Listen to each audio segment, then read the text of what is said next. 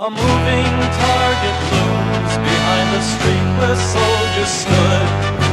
Siren screams out desperately like only humans could. And standing on my balcony, I watch the battle run. Yes, the war is never over, but the day is never done. Oh, the devil in all his wisdom, Father all grace.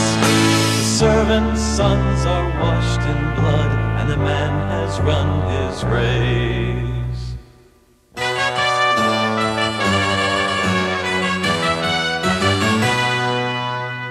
Six white horses like the wind are running, five are far behind. The captain lost his daughter, the sergeant lost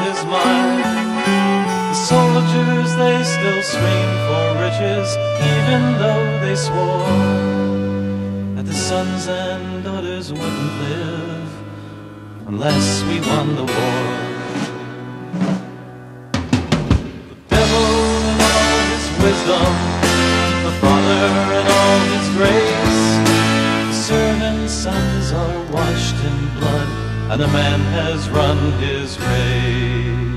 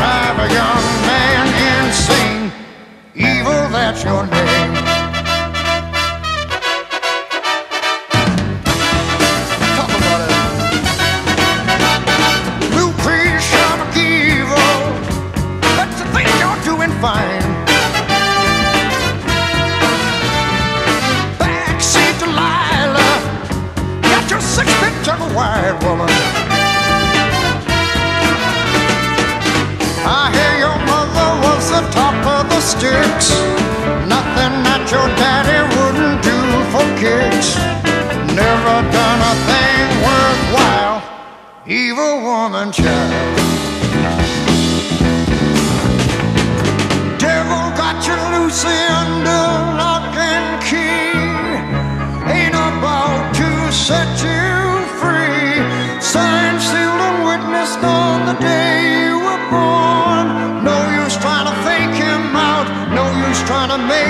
out. Soon he'll be taking out his due. What you going to do? Ooh, Lucy McEvil. Honey, where you been all night? Your hair's all messed up, babe. and the clothes August you're wearing just of this year, this is last August, by Dan Burros as editor of the paper, in which he comes out strongly for the American Nazi Party. Here is uh, Major Koehl here listed as a hero of the white race, uh, third man of the American Nazi Party, and of course, all the way through here, he uh, advocates the American Nazi Party. This is the thing that I think that is going to be of interest, and also this magazine here, of which he was the editor and publisher.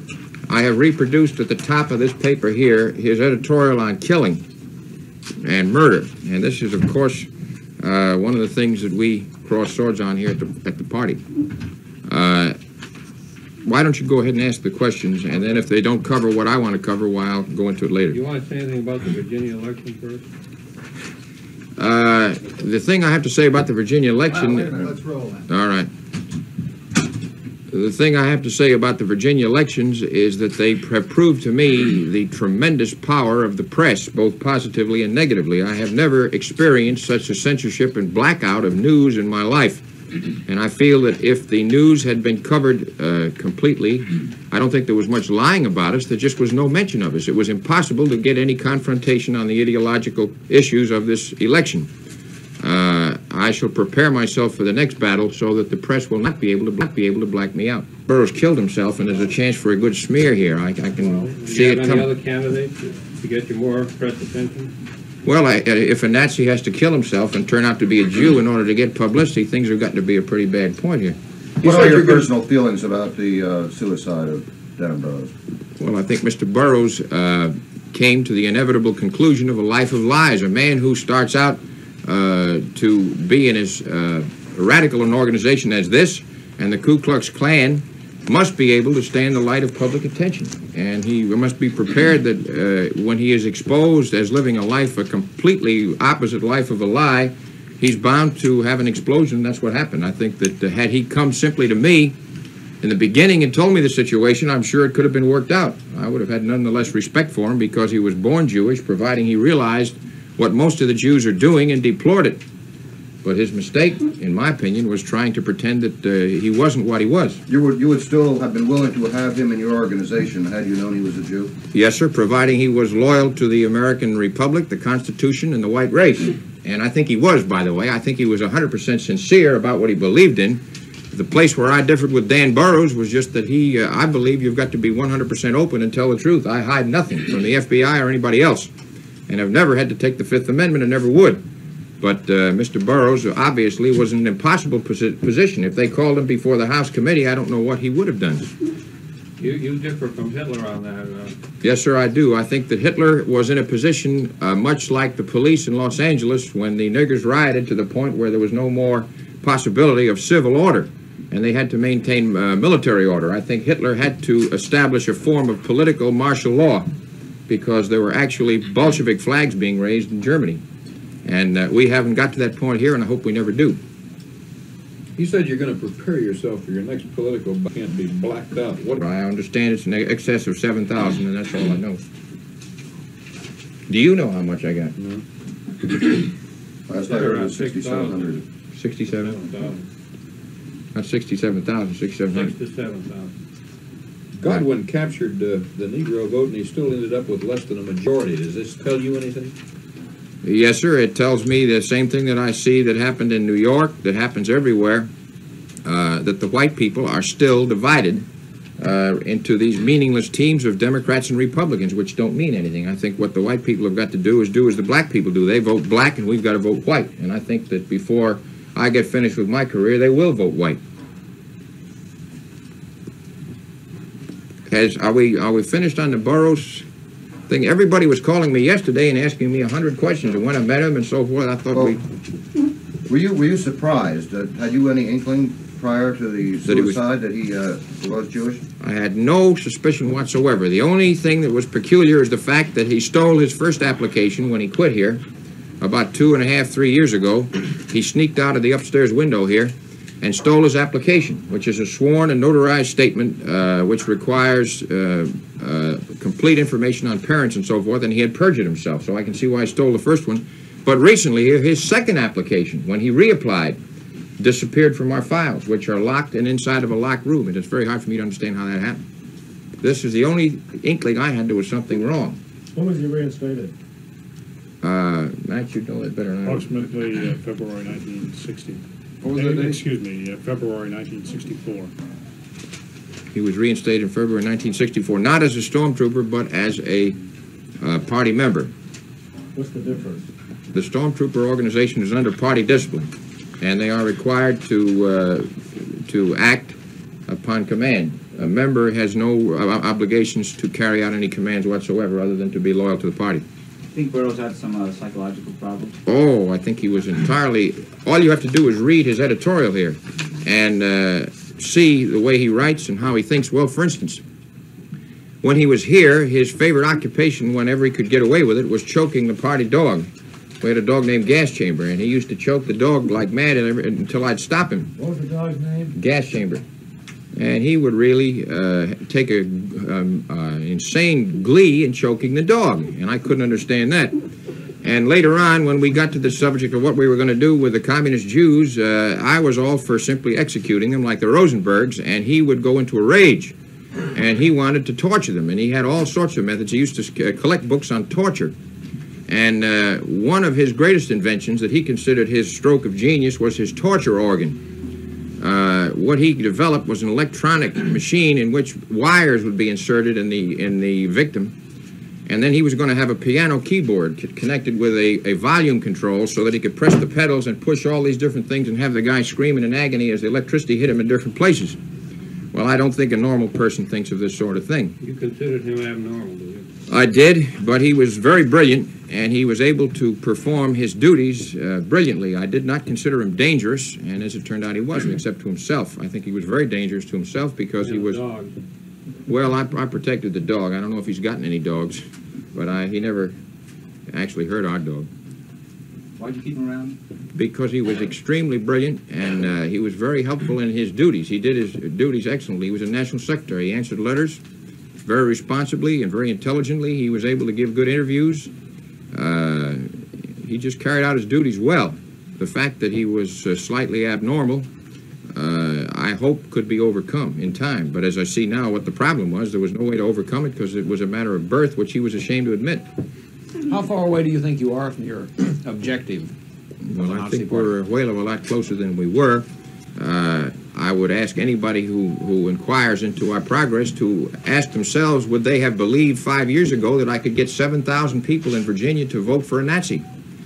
And uh, I think that it's only a question of time if the Negroes keep raising the hell that they are before uh, 700,000 Virginians will want such a leader.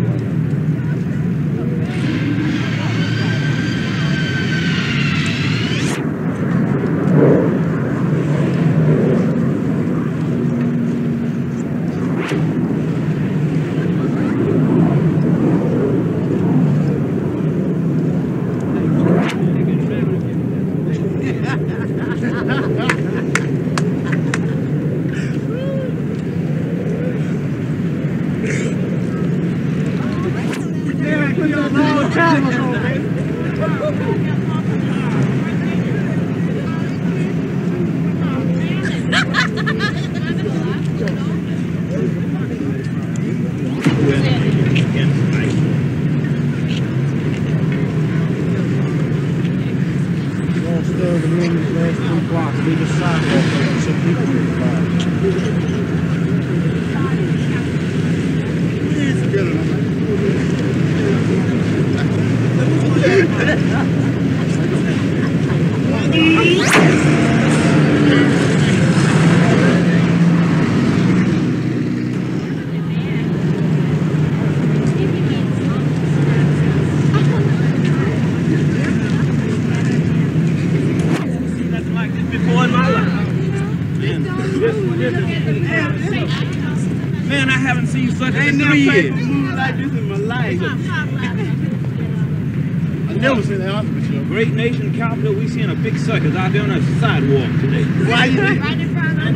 The White House. That's the With a turkey bell behind.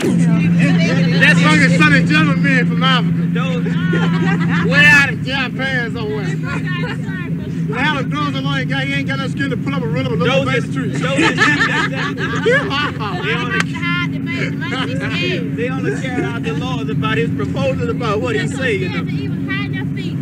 And look at that girl y'all laughing like somebody, somebody jumped.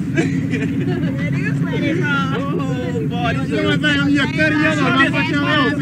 this, this, this is America, man.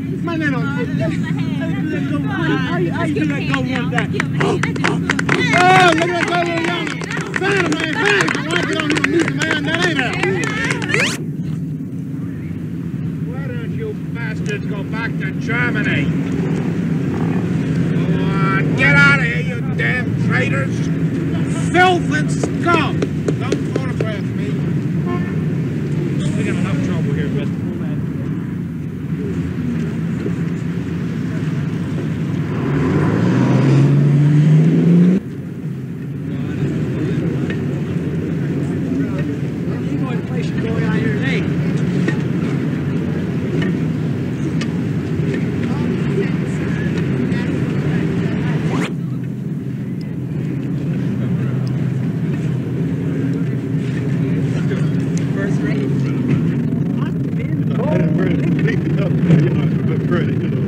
Can you tell us what happened? Well, I heard the two shots and uh, saw Rockwell slump down in the seat. And uh, we didn't know where they came from at first. Then we saw the two holes and deduced that they came from the roof of these stores. Did his car stop or did it go yes, wild? it stopped and then it uh, drifted forward.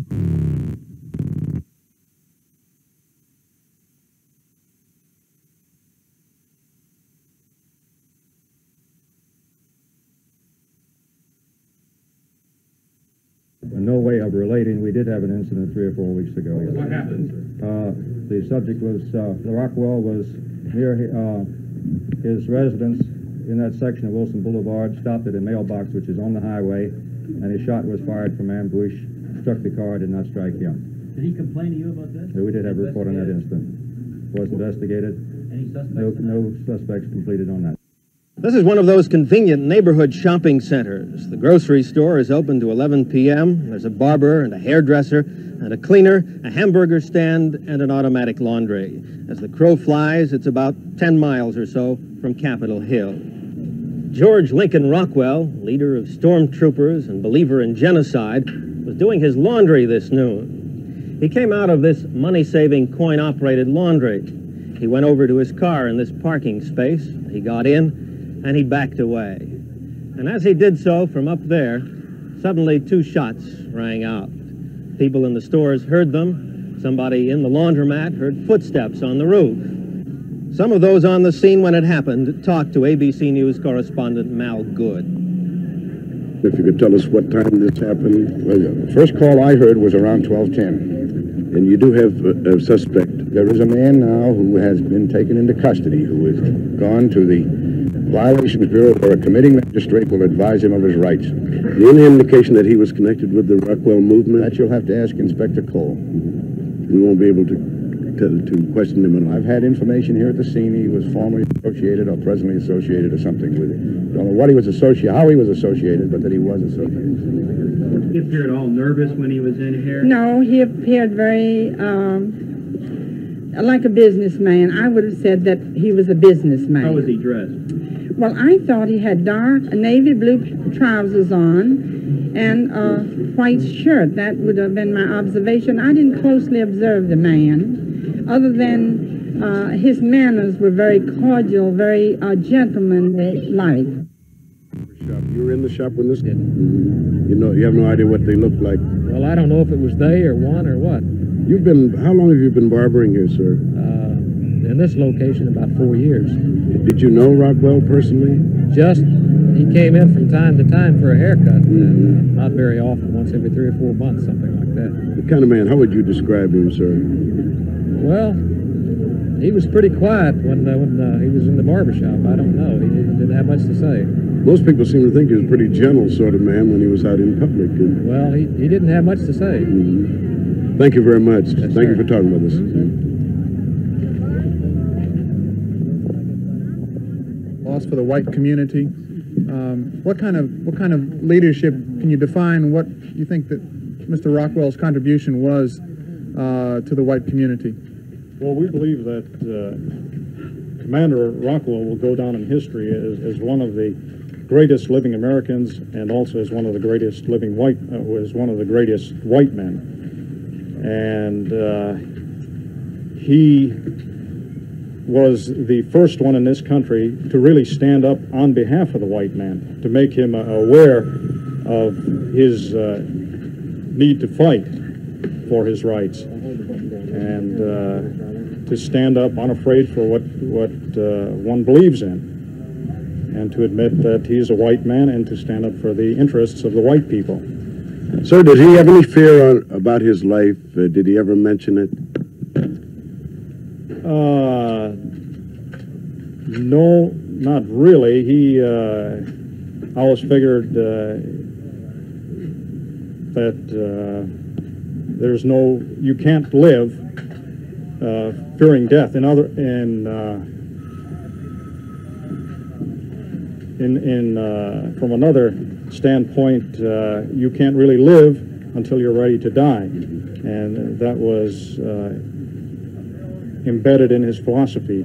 He had mentioned some time ago that he had a successor who was better qualified than him in the event something happened to him. Could you tell us who that person is, or would you want to at this time? Maybe you'd be embarrassed. I, I uh, don't know of any such person. Are you going to try to continue and carry on uh, his mission uh, as you see it?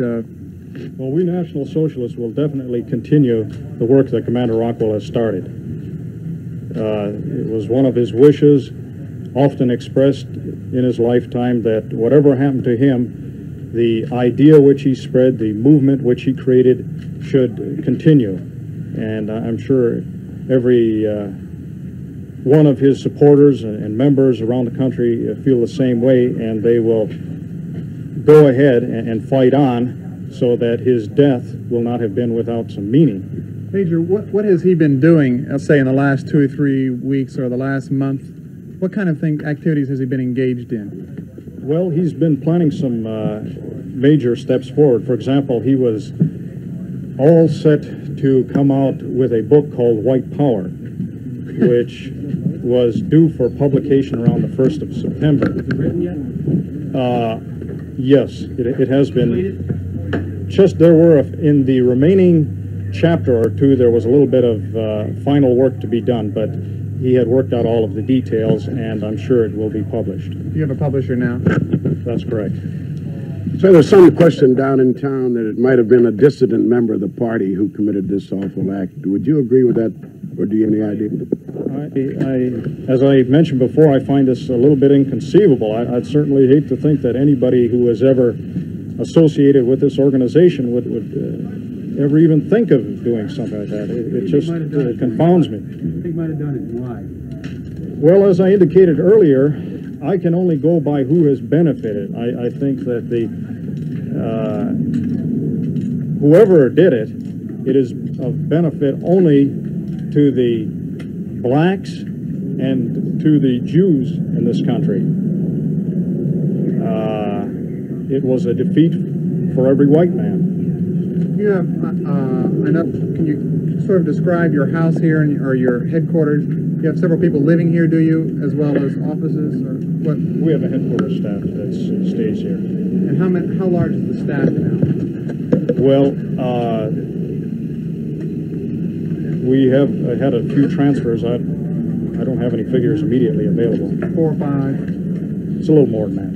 You've had ter- tremendous growth in recent years, uh, Major. Can you give us any idea as to how many chapters you have across the country at the present time, as fostered by Mr. Rockwell? There are between uh, 14 and 18, roughly. What's been a major source of, of your support?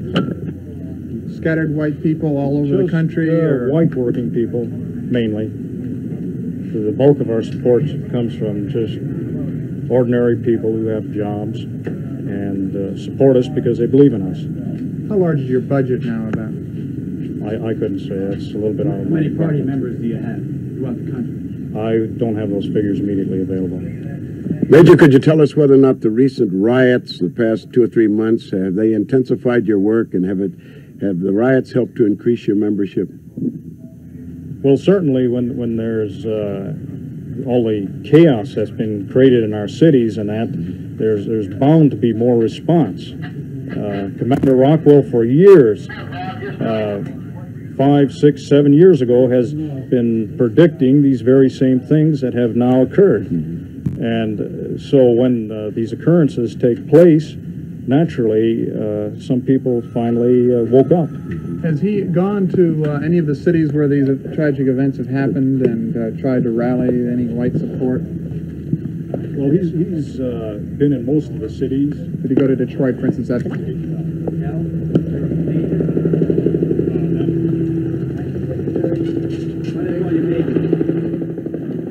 All right. At approximately 12 noon, this date, the police department dispatcher communications received a phone call, which was anonymous from a woman, stating that the man had been shot in a shopping center or given the location of 6000 block of Wilson Boulevard in Arlington. On arrival there, the car was in the shopping center parking lot. The subject was laying by the vehicle. He had been shot in the head and the chest. The identification of the subject was George Lincoln Rockwell. Information at this point is that the shot was fired by someone from the roof of one of the buildings in the shopping center, which is one-story shopping center, and fired down into the automobile or at him at the automobile. At this point, we have one suspect who was picked up in a general area of Washington Boulevard in Harrison, uh, not too far distant from that location. He has not been charged as of now, and identification of the subject is not released at this point. Will he be charged? Uh, it will depend on the development of the case whether or not he will be charged. Sir, did you find a murder weapon? Uh, no weapon at this point has been. Are you searching for one? We are. I understand the suspect, sir, is uh, associated or has been associated with Lincoln Rockwell. Would you uh, I have this? no confirmation upon the background. There is a rumor that he is associated with it, but I have not had direct confirmation on this. About how far would you estimate Uh, I don't have any estimation from the scene. I was not on the scene myself. Was the subject known? It was fairly close, yes. Is the subject known to the police department? The subject was picked up, uh, I do not know. Is it true that the sniper was over a barber shop and that the barbers chased him? That I do not know. Does the suspect have a police record, sir, or have they ever been arrested by your department? We have not checked on records. Uh, we have not gotten booking information. At this point, he is merely a suspect, and at this point is being questioned. Will there be a lineup involving any witnesses? That will depend on the development of the case. I understand that Rockwell was doing his laundry at this time, is that correct? Uh, again, I do not have the information. He was in the shopping center at that point, nothing Is the suspect a resident of Arlington? I have nothing on the identification of the suspect at all. I know he was shot with a rifle or a pistol? The weapon, I do not know. Does he have counsel? Does he have a lawyer? Uh, at the point, he did not have one, and he had not been charged. Do you expect to pick up other suspects? Others will no, uh, be picked up. Whether this one will be charged or released, I do not know at this point. Sir, were you worrying on his rights over the Violation Bureau? That is the usual procedure at the Violations Bureau, yes. Have you had much trouble here with the Nazi Party? Um, as far as demonstrations are concerned and so forth, we have had little trouble here with them. Is he the only suspect you have? The only one held at this time, yes. Do you relate this to the incident